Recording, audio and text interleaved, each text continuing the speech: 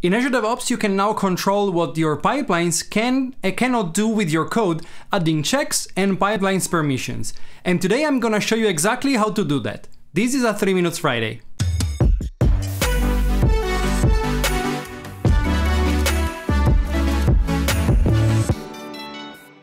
Hi everybody, welcome back to CoderDave, where we talk about DevOps, especially with GitHub and Azure DevOps. And welcome to a new episode of the 3 Minutes series. As you know, in each episode I will try and explain a concept, showcase a, pro- a pro- showcase a product or service, or yet try and teach you something, and all in just 3 minutes. Short videos, big value, hopefully. Today in this 3 minute series episode, we talk about using repos as protected resources in Azure pipelines so you can have a much granular control and security over them. Before we start though, I want to thank Simon for being my new patron on Patreon.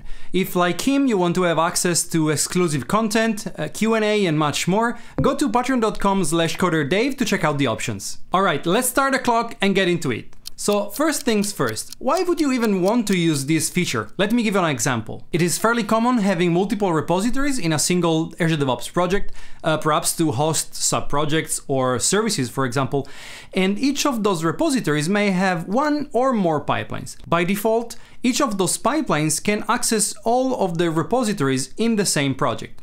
But this is where you may want to have more control over that and decide which pipelines can access which repository. For example, let's say you have two repositories, A and B, in the same project and two pipelines, X and Y, that normally build these repositories. You may want to prevent pipeline Y from accessing repository A, and in general, you want the contributors of A to control which pipelines they want to provide access to.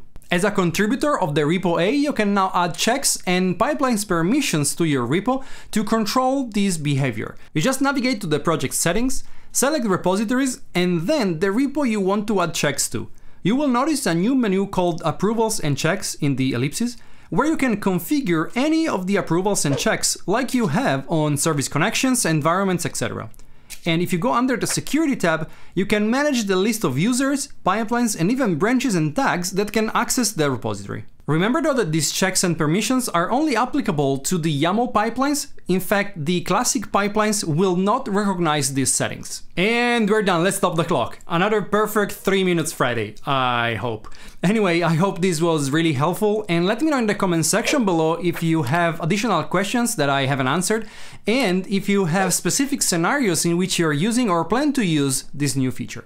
Finally, check out this video over here in which I explain you how and why you can disable repositories in Azure DevOps.